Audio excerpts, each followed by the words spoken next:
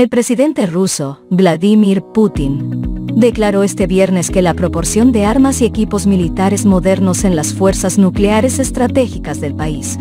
ha alcanzado el 95%.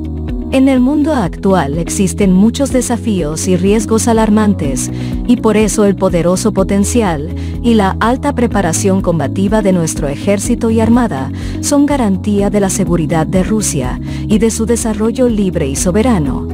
afirmó el presidente en el marco de un discurso, con motivo del Día del Defensor de la Patria, que se celebra el 23 de febrero en Rusia.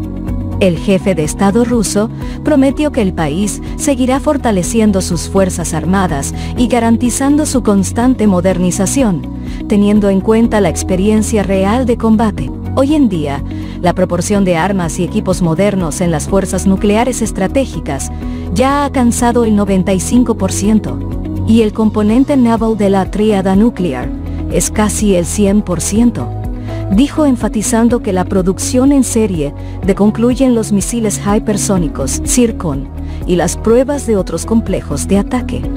Según Putin, también se lleva a cabo la modernización del armamento de las fuerzas de propósito general.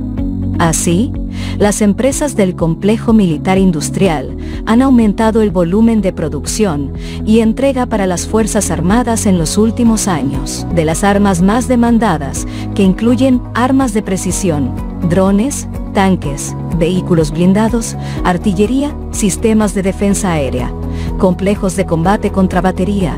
medios de comunicación y reconocimiento Estados Unidos advierte que el nuevo paquete de sanciones contra Rusia será abrumador y que serán cientos. El presidente estadounidense, Joe Biden, que se reunió con la viuda y la hija de Alexei Navalny, volvió a mencionar que Vladimir Putin es responsable de la muerte del opositor del Kremlin. Así, señaló que parte de las nuevas sanciones que Irán dirigió contra Putin